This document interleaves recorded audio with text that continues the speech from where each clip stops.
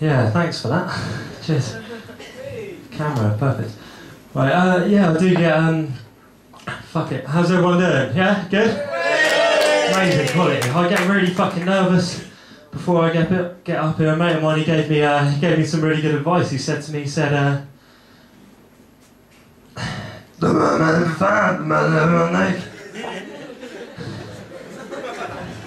I said, what? What the fuck was that? He said, I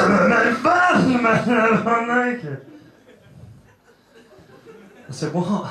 Seriously, mate, you don't usually speak like that. What the fuck? He said, don't worry, mate, you'll be fine. Just imagine everyone naked. I said, what, what was with the voice? He said, I don't know. Thought it'd be funny. yeah, it was pretty funny. Yeah, no, it fucking worked. Perfect. But yeah, alright, I'll give it a go.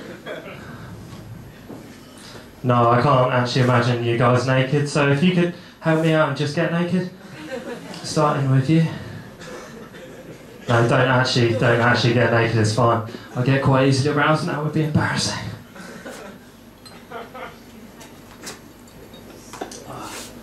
Problem solved. Problem solved, problem, problem solved. No, it's not actually, I've, I've had an erection from the start, no one's, no one seemed to notice. You're all looking at my cock now, though, aren't you? These are fucking tight. I don't know why I did that. Did that, Joey? That's a bit. Look back at the tash. Look back at the tash.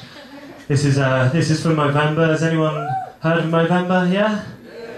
It's good. It's raising money for prostate cancer. I was uh, I was going to shave it into a Hitler, but uh, well, I didn't have the ball. But yeah, like uh, it is from Movember, and the reason that I am doing it from November is because it's it's not just to raise money for prostate cancer. It's because I've been doing a few gigs and I haven't been getting amazing responses. Um, I did the Gong Show in Southampton. And I got gonged off, and all of these people that haven't really been appreciating uh, what appreciating comedy, haven't really been laughing. They've all been getting prostate cancer. And I'm not, I'm not saying, I'm not making any idle threats. I'm not saying if you don't laugh now, that you're going to get prostate cancer. I'm just saying that's what's happened to everyone else. I'm just saying you're not laughing right now. You might get prostate cancer. Even the ladies have been. it's weird, weird, weird. My dad's, uh, my dad doesn't have prostate cancer. My dad's, my dad's smooth. He's, uh, he's real smooth. You know what I mean? You know what I mean? Real smooth. You know, you know, smooth. You know, real, real. You know, alopecia they call it. He's, uh, he is. He blames me for it as well. Um, I know you're probably thinking, yeah, it's a stress-related illness. Like, what what would you have done, Mike, that would cause so much stress? What would that his hair would just fall out? Apparently, me being born caused my dad's alopecia. That's that's the truth. He tells tells me on a daily basis. But um, yeah, you guys don't think that's harsh for some reason. that's perfectly normal. Why not? You you look like a cunt, Mike. I'd imagine that a lot of people's hair just fall around, just like you walk past people and the hair just falls off. But yeah, like, um, no, it wasn't, he's got no proof, it wasn't simultaneous, it didn't pop out of my mum and then his hair just fell off. It didn't, it didn't happen like that. So, um, yeah. Alopecia, I don't actually think alopecia is that bad. I'm going, I'm going bald myself. I don't really want to show you guys, but I will. Last, last time, I, yeah. Oh, people go, ooh. Fuck. I'm only 24. Yeah, oh, it's fucking out of order. With the hat on, I look like 24. Without. I look like.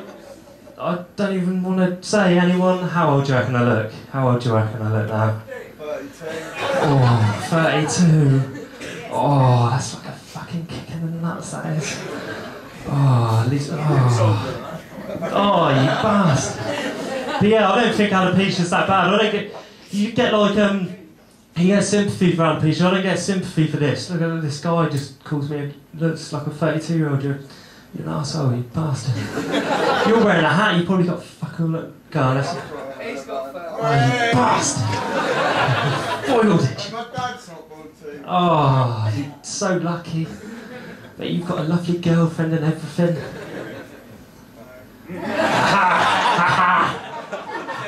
Fucking 1 0.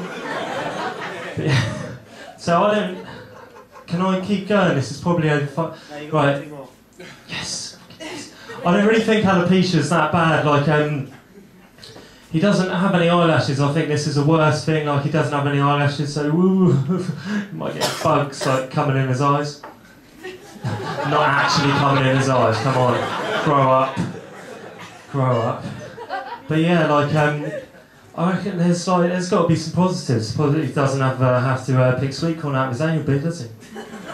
Oh, that's disgusting. I don't even eat sweet corn. I don't know where it comes from.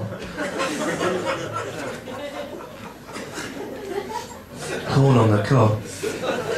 But um, yeah, like uh, if ever he has a surprise party and basically he finds out about this surprise party and he wants to act surprised, doesn't have any eyebrows, just draws them on. Bit high. It's surprised all the time. It's fantastic. And uh, ladies don't have anything downstairs. It looks bigger all year round. All year round, that Mike. That's a bit of a weird. That's like uh, saying that you've got seasonal grooming habits or something like that. Oh, that's, that's a bit weird, like bald in the summer, short back and sides in the autumn, and maybe in the winter you'd uh, shave it into a Christmas tree and dye green and pretend your penis is your present for your girlfriend. Who, who would do that? That's, that's completely weird. Why would anyone? Why would anyone? But surprise! That is actually all I've got time for. You've been great. I've been Michael Bilham. Thanks.